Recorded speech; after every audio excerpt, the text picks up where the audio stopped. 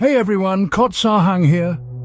As a travel enthusiast with a serious case of francophilia, I couldn't resist delving into the secrets of the Arc de Triomphe. Get ready for five amazing facts that will make you want to grab a croissant and hop on the next plane to Paris with me.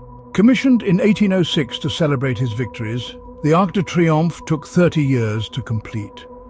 Sadly, Napoleon died in 1821, 15 years before its grand unveiling in 1836.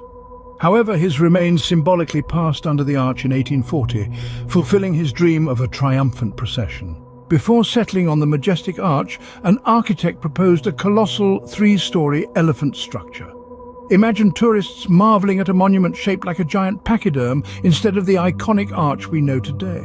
Look closely at the sculptures adorning the base of the arch. The departure of the volunteers panel depicts a hidden self-portrait of the sculptor Francois Rude, while the triumph of 1,810 inches includes figures representing Napoleon's family. In 1919, weeks after WW1, a pilot daringly flew his plane through the arch to honour fallen aviators. This act remains a controversial and awe-inspiring moment in the monument's history. Interestingly, the Arc has also witnessed two assassination attempts on French presidents Charles de Gaulle and Jacques Chirac. Beneath the arch burns an eternal flame, ignited in 1921 to honour unknown soldiers who died for France.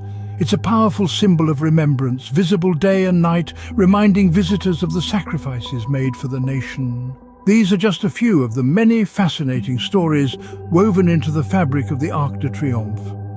Visiting this historical landmark isn't just about admiring its grandeur, it's about experiencing the whispers of the past and appreciating the resilience of the human spirit. So what do you think? Did these facts ignite your wanderlust? If you're planning a Parisian escapade, let me know in the comments. And remember, subscribe to Kot Sarhang for more travel inspo and hidden gems from around the world. A biento!